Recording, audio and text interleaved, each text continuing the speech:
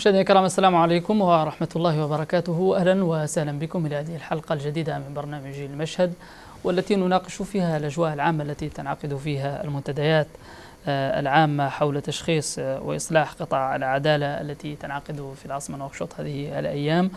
وتناقش هذه المنتديات مواضيع من بينها أو من أبرزها تشخيص واقع العدالة وجودة العدالة وحماية وحماية حقوق المتقاضين ونظام السجون والإصلاح الجنائي إضافة إلى الولوج إلى العدالة ورقمنتها.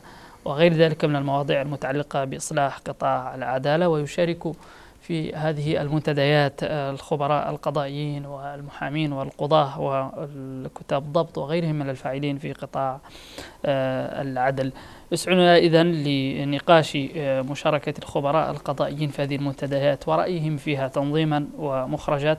أن يكون معنا سيد محمد فاضل الهادي الأمين العام للتجمع المهني للخبراء القضائيين الموريتانيين. مرحبا بك سيدي محمد فاضل مرحبا. بداية ما هي الأجواء التي تجري فيها النقاشات داخل هذه المنتديات؟ طيب شكرا جزيلا بسم الله الرحمن الرحيم والصلاة والسلام على سيد المرسلين. شكرا جزيلا الأخ محمد فاضل محمد عبد الرحمن محمد فارق أقصد على الاستضافة. شكر موصول لقناة المرابطون. مرحبا. المنتديات العامة للعدالة هي يعني تدخل في صميم ما يسمى بما ما سمي ببرنامج رئيس الجمهورية فخامة رئيس الجمهورية السيد محمد الشيخ الغزواني. والهدف منها هو الاطلاع وتشخيص واقع العدالة والخروج بمخرجات تجعل العدالة مواكبة للعصر اولا وتضمن أيضا أن تكون العدالة يعني على مستوى يرضي المواطن ويرضي المستثمر ويرضي كل من له علاقة أو له حاجة. لدى هذه هذا الجهاز هذا القطاع الخدمي الوطني. والمنتديات نحن صراحة تفاجأنا بعقدها عندما تم الإعلان عنها من طرف وزير العدل الدكتور محمد الدكتور محمد محمود بن عبد الله بن ابي في في يعني مجلس الوزراء في بيان. فاجأنا هذا البيان ويعني فاجأنا وأفرحنا في نفس الوقت. يعني كنا متفاجئين بهذا القرار بهذا القرار الشجاع. من حيث من حيث طبيعه من حيث طبيعة يعني من حيث الجرأة على هذا الموضوع. لأن يعني الموضوع كان حساس وكانت الأنظمة كلها التي يعني ربما قامت بمحاولات. آخر محاولة كانت منذ 17 عاما. كانت يعني خجولة ونتائجها كلها خجولة. تقصد محاولات إصلاح القضاء محاولات إصلاح القضاء 2005 تقريبا. حدود 17 عاما وكانت إصلاحات يعني خجولة جدا ولم يكن أيضا لم لم يشارك الجميع فيها. نظرا لبعض الأمور التي لم تكن في ذلك الوقت. يعني محل نقاش وكان يعني الواقع حينئذ لا لا يسمح بنقاشها. هذه الشجاعة التي أظهرتها أظهرتها القيادة قيادة البلد بإرادة سياسية من طرف رئيس الجمهورية محمد الشيخ الغزواني وبأيضا بأيضا تصور كان كان جيد من طرف معالي الوزير وأيضا الطاقم المرافق العامل معه في قطاع العدل في في الوزارة وتقبل أيضا الفاعلين في القطاع لهذا ال لهذا ال لهذا ال لهذا المشروع الإصلاحي وهذه النظرة الإصلاحية كان أيضا تقبلا إيجابيا من حيث التعاطي لأنه المنتديات لم تبدأ الآن بدأت منذ فترة منذ منذ ثلاثة أشهر وكان كيف؟ كيف؟ يعني كان أول ما بدأت بها المنتديات هو بعث رسائل مباشرة إلى الجهات المعنية بالقضاء وللفاعلين في المجتمع المدني وإلى أجهزة الدولة كلها لتقديم تصورات ورؤاهم حول إصلاح العدالة ومن هذا المنطلق شكلت لجنة علمية وأخرى فنية لتحضير لهذه المنتديات؟ نحن كنا متابعين لهذا الشأن لأنه يهمنا جدا ويعني كنا رأينا في المنهجية ما يمكن أن يخدم أن يخدم هذا القطاع وأن يصلحه. أيضا الأمر الآخر المهم جدا هو إشراك الوزراء وزراء العدل السابقون وترأسهم لجلسات النقاش. كأنه إذا كانت لم تتوفر لكم الفرصة في في بسبب إكراهات سياسية في ظل توليكم لوزارة العدل هذه الفرصة متوفرة الآن لكي تقدموا رؤاكم وما كنتم تطمحون طيب. للتنفيذ وكان هذا أمر جيد جدا. أيضا إشراك بعض الأخوة من الدول الشقيقة والجارة والصديقة وهذا هذا كان يعني كان يعني نوع من يعني الانفتاح على تجارب الآخر التي ربما تضيف جديد. وتساهم أيضا في أن تكون المخرجات على مستوى عالي جدا طيب من أنت من قلت أكثر مرة انه هذه المنتديات في نسختها الحالية تتميز بعدة ميزات يعني. ما الذي ستضيفه هذه المنتديات برأيك؟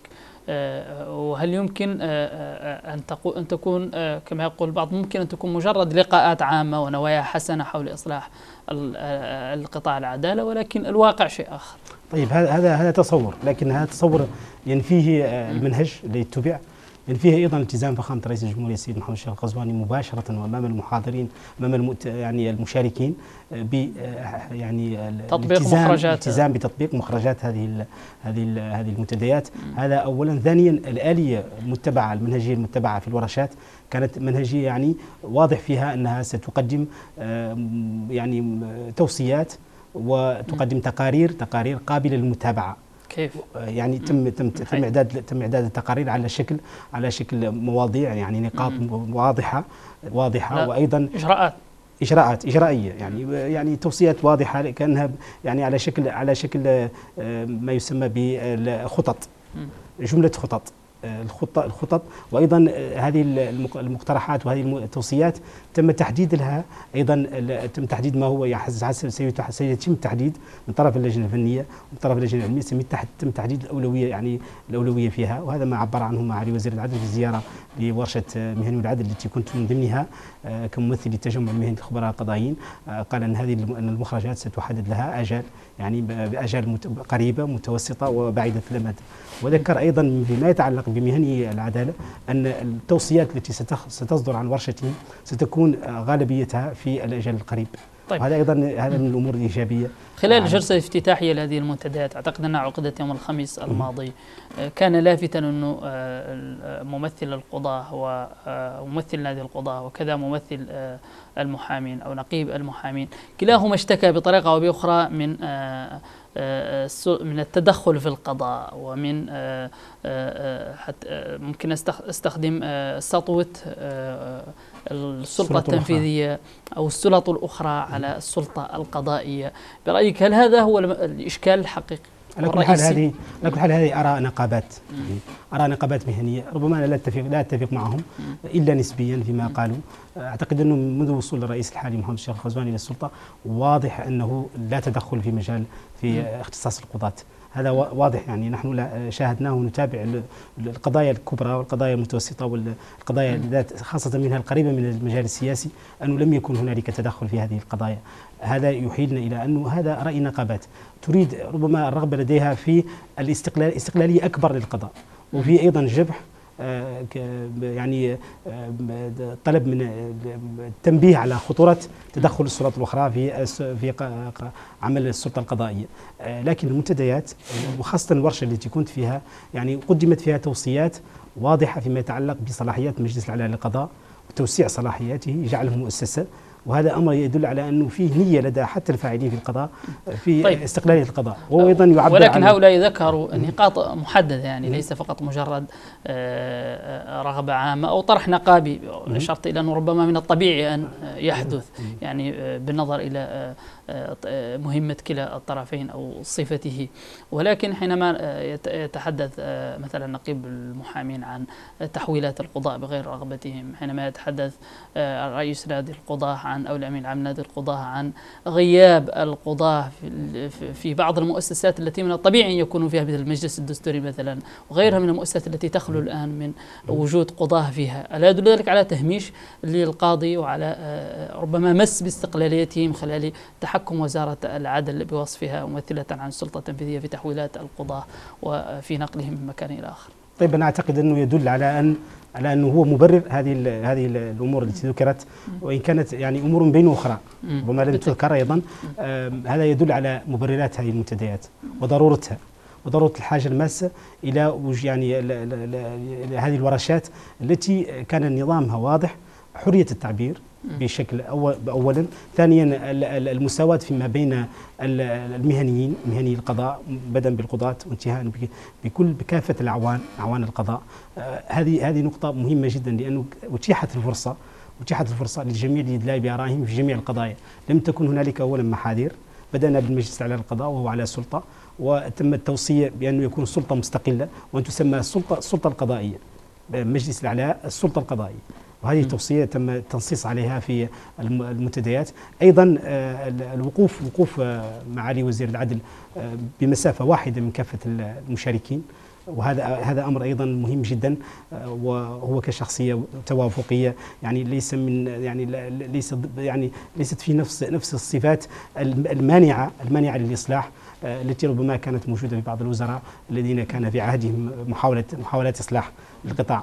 وأيضا ليس مثلا محاميا أو يحمل آه، صفه يعني لا, لا أريد أن أحدد بالضبط لكن المهم أنه كشخصية توافقية يمكن أن يتقبل بصدر رحب التوصيات. التوصيات لن تكون في صالح طرف لصالح طرف. التوصيات دائما تكون توصيات عامة توصيات تخدم, تخدم القطاع تخدم المصلحة العامة. والضروري في هذه التوصيات أن تكون أن تكون لإصلاح العدالة. لإصلاح العدالة لصالح كل مواطن. طيب أه، دعنا نتحدث عن إصلاح العدالة. أه، ربما أشرت إلى أن هنالك شبه إجماع على أن العدالة تحتاج إلى تشخيص. ممكن أن يختلف الناس في مستويات الاختلالات الموجودة في السلطة القضائية ولكن هنالك إجماع على أن قطاع العدالة يحتاج إلى إصلاح. ما هو تشخيصكم لواقع العدالة؟ يعني شنو هي الإشكالات الكبرى اللي يلا ينبدأ منها ويلا يبدأ بها؟ طيب بالنسبة للإشكالات إشكالات كثيرة جدا هذا لا خلاف فيه. وهي أيضا لا ليست ليست يعني لا تحمل فيها المسؤولية لجيل ولا لجهاز حكومي معين نظام معين وغير ذلك. هي تراكمات. منذ نشأة الدولة إلى اليوم كانت العدالة تتطور شيئا فشيئا مثلها مثل كافة القضاء القطاعات العمومية وفيها مشاكل وفيها يعني اختلالات. هذه الاختلالات المهم هو تصحيحها وهذه الاختلالات من أهمها ومن أبرزها هو أنه ينبغي أن تتجسد تتجسد استقلالية القضاء. بمعنى أنه تتجسد على جميع المستويات سواء منها ما يتعلق بالقضاة آه، يعني بتسيير محاكمهم آه، بدءا بالمحاكم الولايات ومحاكم المقاطعات وانتهاء بالمحكمة العليا. يعني تصاعديا. وأن أن تكون أن يكون ان نشعر بأن الجهاز القضائي ليس هنالك أي نص قانوني يسمح لأي جهة ايا كانت بالتدخل في شأنه. هذا هذا من باب حماية حماية القضاء حماية استقلالية القضاء. وأيضا يكفينا طبعا في البداية أن نذكر أن الدستور كرس هذه الاستقلالية. وكانت هنالك مطالب يعني في الورشات في الورشة التي كنت مشارك فيها كانت فيها مطالب بزيادة يعني مواد الدستوريه المتعلقه بالقضاء عددها ثلاثة ورفعها إلى عدد يسمح بأن تكون غالبية الأمور الجوهرية ذات العلاقة باستقلالية القضاء مضمنة في الدستور لكي لا يكون تغييرها سهل جدا ولكي أيضا نضمن انه عموم القوانين تكون ملزمة باحترام هذا النص السامي الذي هو الدستور. بالتالي تكون دائما في احترامها سيكون هنالك احترام للعدالة، تشخيص واقع العدالة، الواقع العدالة هنالك إشكالات فيه تتعلق بالولوج إلى العدالة، هنالك إشكالات تتعلق بعدم الاستفادة من الرقمنة ولذلك وجدت ورشة خاصة بالرقمنة، هنالك إشكالات أيضا تتعلق بالأعوان، أعوان القضاء، لأنه أعوان القضاء فيهم من يعني هم ك ك يعني ك كل واحد منهم هو يقال أنه القضاء القاضي ليس شخصا اليوم. في العصر وإنما هو مجموعة أشخاص يجسدون القاضي القضاء يشسدون الحكم. وهذا وهذا مجموعة مجموعة مجموعة المهنيين آه، أولهم القاضي وعلى رأسهم وهو يعني الضامن للحكم وهو يعني ينبغي أن يكون في وضع وضع جيد جدا. هذا اولا ثانيا القضاة الآخرون. أنا أسميهم القضاة وما لا يعجب البعض لكن هو هي تسمية لدي. لدي القاضي القاضي الفني والذي هو الخبير القضائي. لدي قاضي العقود والذي هو القاضي القاضي الموثق ولدي أيضا القاضي قاضي قاضي التنفيذ وهو المنفذ العدل المنفذ. ولدي أيضا القاضي قاضي قاضي البينة أو قاضي الدفاع وهو المحامي. وهؤلاء كلهم قضاة بالنسبة لي لأن كل واحد منهم له دور في تجسيد هذه الشخصية المعنوية التي تسمى بالقاضي التي ستضمن العدالة على مستوى على مستوى البلد. أيضا هنالك يعني نقاط أخرى تتعلق ب تنفيذ الأحكام. ذكرت ولسنا خجلين من ذكرها صح. عدم تنفيذ الأحكام التي تصدر ضد الدولة. وهذه أيضا أمور ينبغي أن, أن, أن تقدم فيها توصيات. وقدمت فيها توصيات توصيات لكي نضمن لأنه في الأخير هو كيف تضمن ان أن الشيء ان أن التنفيذ يتم؟ بمفهوم أنه كيف تضمن ان أن ما يتعلق بالقضاء أنه سيكون يعني مطبق 100% لا تضمنه إلا بالنصوص. طيب. النصوص هي الضامن لكل شيء، اذا علينا خلق النصوص ضامنة لاستقلالية القضاء علينا مراجعة كل النصوص التي تمس أو ربما فيها ما طيب يمس هل هل يحتاج آه، تنفيذ أحكام آه، قضائية نهائية صادرة عن آه، القضاء هل يحتاج إلى نصوص جديدة؟ لا ربما لا يحتاج إلى نصوص لكن ربما يحتاج إلى توضيح الآلية أو مسطرة التنفيذ إلى طيب توضيحها بشكل آه، بشكل أنا أعلم. أنه هذا محل جدل قانوني مم. أكيد، أكيد. يمكن أن نعود إليه في الجزء الثاني من البرنامج ولكن اسمح لي أن ناخذ فاصلا قصيرا تفضل. مشاهدينا الكرام ابقوا معنا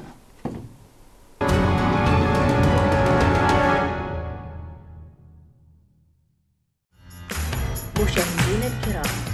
تلفت قناة المرابطون عنايتكم إلى أن الدروس الرقمية التي تقدم على الشاشة موجودة على قناتنا على اليوتيوب ويمكن الولوج إليها بكل سهولة عبر الرابط التالي.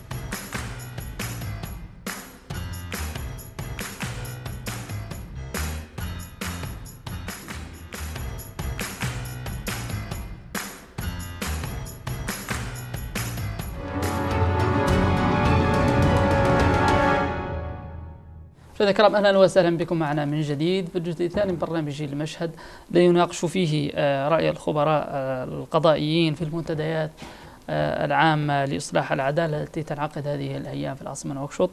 يسعدنا أن يكون معنا سيد محمد فاضل الهادي الأمين العام للتجمع المهني للخبراء القضائيين الموريتانيين. مرحبا بك من جديد.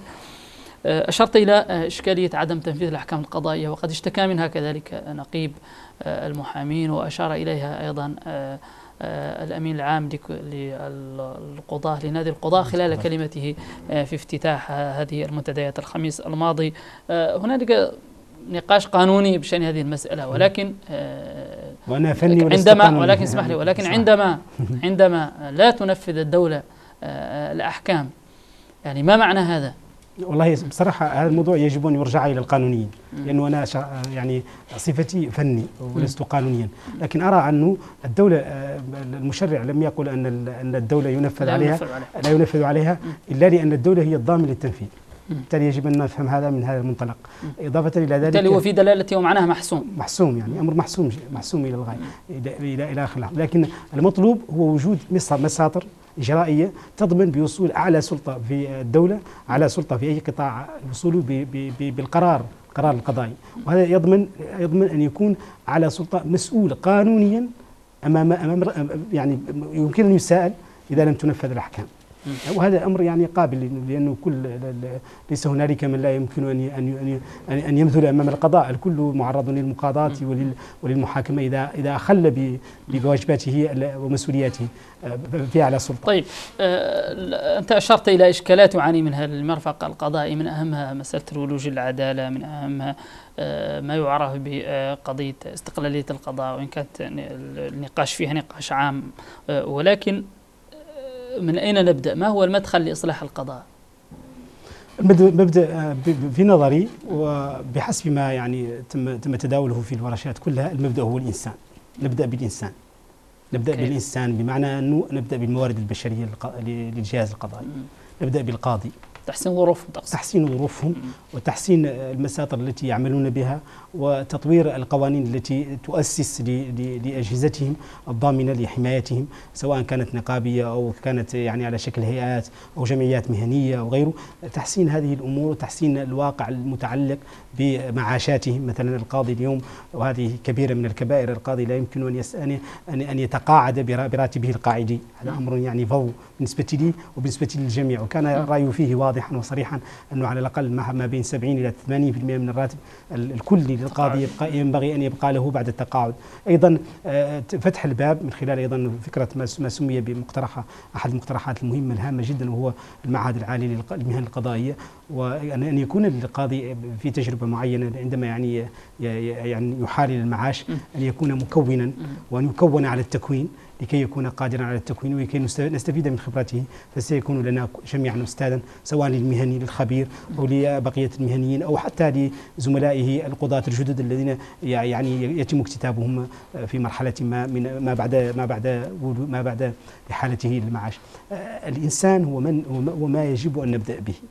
الإنسان بالتكوين بالتأطير في الو- الوضعية المعيشية لكافة ال- ال- ال- ال- المهني القضاء، الإنسان في أيضا احترام احترام ال ال ال الإنسان داخل المساطر وداخل النظم وداخل الجهاز القضائي بكل بشكل كلي. يعني الاهتمام بالموارد البشرية. ولا أخفيك أيضا أن هنالك أيضا ضرورة للاهتمام بالإنسان داخل الوزارة. لأن الوزارة ضروري جدا أن تكون أن تكون الأجهزة الإدارية الموجودة في الوزارة أن تكون يعني أن يكون هنالك اهتمام بتكوينها بتأطيرها بإعادة هيكلة القطاعات الموجودة في الوزارة آه، أقصد الإدارات والمصالح الموجودة في الإدارة في في الوزارة وأن يكون هنالك أيضا أن يكون هنالك أيضا اهتمام بالأعوان. أعوان القضاء لأن الأعوان القضاء ينقسمون إلى قسمين قسم في الوظيفة العمومية وهم كتاب الضبط آه، وقسم آخر ليس في الوظيفة العمومية وهم, وهم يعني آه، أعوان حرون ما يسمى طيب. بالأعوان المستقلين كالخبراء طيب الحديث عن أعوان القضاء. أنتم كخبراء قضائيين ما هي مطالبكم بين يدي هذه المنتديات؟ آه، نحن كنقابه آه، يعني بما أنها منتديات وبما أنها ورشات آه، لا لا لا, لا نريد لا نقول بمطالب لأن المطالب فيها ما يمكن أن أن أن, أن نؤجله لنطلبه بطريقة أخرى. هنالك وسائل أخرى طيب. كفلها لنا, لنا القانون. نحن قمنا بتقديم توصيات توصيات لاحترام الخبير القضائي. وأول توصية وأهم توصية قدمناها هي أن القاضي يجب أن يتعفف وأن تحدد له النصوص الجوانب الفنية التي لا يبت فيها. لضمان بلوغنا إلى حقنا في ممارسة مهنتنا. لأن الخبير القضائي يعيقه أن القانون الأساسي للخبراء القضائيين يقول أن الخبير القضائي مساعد للقاضي في الجوانب الفنية وعليه أن يتوجه إليه لكن جاءت القوانين الإجرائية أيضا وقالت أنه للقاضي إذا أراد. وبالتالي كانت هذه الصيغة كأنها كأن ما القاضي غير ما يعني يمكنه أن يحكم يمكنه أن يحكم في في في أمور فنية. ما هو أكيد وما نؤكد عليه هو أن القاضي ليس ملزما بالأخذ برأي الخبير. ونحن نتفق مع كل من قال بهذا لأن القاضي يجب أن يكون مستقلا. لكن أيضا لكن أيضا ضروري ضروري جدا أن ينظر في الرأي الفني قبل أن يأخذ أن يأخذ القرار. لأنه إذا نظر في الرأي الفني قد يساعده على اتخاذ قرارات صائبة وقد يساعد أيضا إلى ضمان جودة العدالة. وهذا ضروري جدا وطرحناه كتوصية هامة جدا. من من التوصيات الأخرى التي طرحناها أيضا هو أن تجديد اللائحة اللائحة السنوية للخبراء القضائيين. أيضا في سلك الخبراء القضائيين يوجد ما يسمى بالمترجمين وطلبنا لهم سلك خاص لأنه على غرار بعض الدول هنالك سلك خاص بالمترجمين. والمترجمين ضروريين جدا لأنه ضروري إخراجهم من من بوتقة الخبراء القضائيين وأيضا تزويد المحاكم بهم. لأنه في الأخير آه، لا ينبغي أن يترجم إلا من هو معتمد ومن هو محلف. وهذا أمر ضروري جدا لضمان أيضا الشفافية في التعاطي مع مع مع المتقاضين ما بين القاضي والمتقاضي وما بين القاضي والمحامين أيضا. الترجمة ضرورية وضروري أن يكون ترجمه مترجما معتمدا وأن يكون وأن وأن يستدعى وقت الحاجة دائما له أن يستدعى في حالة وجود أجنبي مثلا أو شخص غير ناطق باللغة باللغة التي يتقنها القاضي. هذا أمر ضروري بالنسبة لنا. أيضا من الأمور التي طالبنا بها وهي من الأمور الضرورية جدا بالنسبة لنا كخبراء قضائيين آه، هو أن أن أن يتم سواء إما إلغاء الهيئة الوطنية للخبراء القضائيين أو تفعيلها بشكل جدي وهي هيئة مع الأسف راكدة وبها مشاكل كثيرة جدا نعاني منها وتعاني منها ويعاني منها حتى القضاء. وبالتالي طيب. نحن نطالب بإعادة بتفعيلها أو إلغائها وترك للخبراء الحرية الحرية النقابية بمثل ما هنالك جمعية مهنية للخبراء القضائيين آه، نمثلها وقائمة بوجدانها وهي أيضا أسست على أسس سليمة قائمة لديها موقع إلكتروني فيه جميع الخبراء بصورهم ومعلوماتهم الشخصية. هنالك واختصاصاتهم لديها أقسام افتتحتها. كل تخصص موجود بشعبه فيه قسم خاص به إلى آخر ذلك. لذلك كانت هنالك جملة كبيرة من التوصيات ربما ربما خانتني ذاكرة في بعضها. طيب. لما لما أتذكرها إلى أن هذه التوصيات كلها تصب في منحى واحد وهو إصلاح العدالة. ومنها أيضا التوصيات التي قدمها الإخوة الآخرون في من المشاركين. آه، واذكر وأذكر أيضا أن المشاركين من ضمنهم فاعلين في المجتمع المدني ومن ضمنهم ممثلين للبرلمان وممثلين للجهات الأخرى ضمانا لأن يكون الجميع يعني مشارك العداله تهم الجميع وتعني الجميع. طيب بالنظر آه، آه، إلى آه، هذه الملتقيات وأهميتها المدة الزمنية التي ستأخذ برأيك هل ستكون مختلفة عن المحاولات التي سبقت لإصلاح قطاع العدالة وهل ستنفذ مخرجاتها بالفعل؟ ما أستطيع قوله أنه أن أن أنه فقط هنالك ضامن واحد يمكن أن يضمن أن تنفذ مخرجات العدالة وهو الإرادة السياسية. إذا توفرت الإرادة السياسية وأنا على قناعة أنها متوفرة لأنه كما قلت في بداية الحلقة الشجاعة للإقدام على هذا على على هذا القطاع الحساس آه، بحد ذاته يعبر عن إرادة سياسية لدى السلطات العليا للبلد لدى رئيس الجمهورية ولدى أيضا وزير العدل. وهذا يعيننا على فهم يعني جعلنا نكون يعني مقتنعين إلى حد كبير جدا بأهمية هذه المنتديات وبأهمية مخرجاتها. الإرادة السياسية أولا ثم أيضا على النقابات المهنية أن تتابع هذه التوصيات. وأن تعتبرها يعني هذه توصيات لابد أن تترجم وهي ستترجم كخطط عمل. وهذه خطط العمل يجب أن تتابع من طرف النقابات وتتابع من طرف كل من لهم علاقة بالقطاع العدل لكي نضمن تنفيذها وتطبيقها سواء منها ما يتعلق بنصوص ناظمة سواء منها ما يتعلق بمقررات أو مراسيم أو قوانين أو حتى ما يتعلق منها بحقوق يعني حقوق مكتسبة أو حقوق ضائعة يجب أن تستعاد إلى آخر ذلك. شكرا جزيلا للسيد محمد فاضل الهادي الأمين العام للتجمع المهني للخبراء القضائيين الموريتانيين على مشاركته معنا في هذه الحلقة. مشاهدينا الكرام أنقل إليكم تحيات فريق البرنامج وإلى حلقة قادمة والسلام عليكم ورحمة الله وبركاته.